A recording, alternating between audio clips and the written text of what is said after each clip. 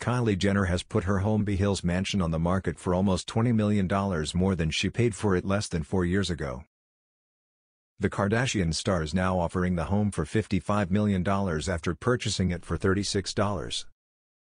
5 million in April 2020, according to real estate sites. The mansion, built by developer Gail Ash, features 7 bedrooms and 10 bathrooms at just over 15,000 square feet, sitting on 0.83 acres of land. The luxurious, resort-style compound just off Sunset Boulevard is on one of the best streets in LA's Platinum Triangle of Holmby Hills, Beverly Hills, and Bel Air.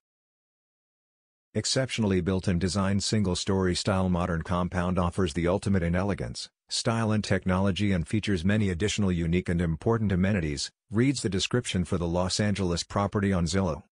Just some of the home features include an outdoor projection screen, home theater, multiple bars and game rooms, and a sports court. The U.S. Sun has reached out to Kylie's rep for comment. In September, the U.S. Sun exclusively revealed that Kylie and her ex Travis Scott sold their $20 million Beverly Hills mansion after calling it quits earlier in the year. Realtor websites showed that the price of the home was reduced from $21.9 million down to $19. 9 million in April, leading to the sale. The 7-bed, 10-bath property was jointly shared between the Kylie Cosmetics founder and her rapper ex-beau.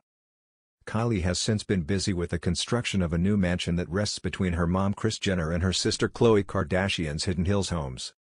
Aerial photos have shown that the house is well into the construction process after it was previously postponed by the pandemic. Kylie's sisters Kim, 43, and Kourtney, 44, also live nearby, with the Skims founder's home being the most expensive at a whopping $60 million. Making moves The new listing comes as Kylie, 26, has been taking huge steps in her relationship with boyfriend Timothée Chalamet, 28. The Wonka star and Kylie Cosmetics founder have been reportedly seeing each other since January 2023, opting to stay out of the public eye.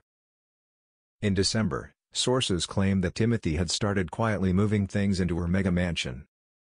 When he's in LA, Timothée lives with Kylie. She's so private that her sisters don't even know about it yet, one insider close to the couple revealed. The idea of having the same home base, it's the best way to see one another with their busy schedules.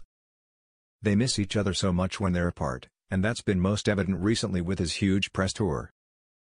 Kylie also accompanied the nominated actor at this year's Golden Globes, where the two were seen sharing a kiss on screen.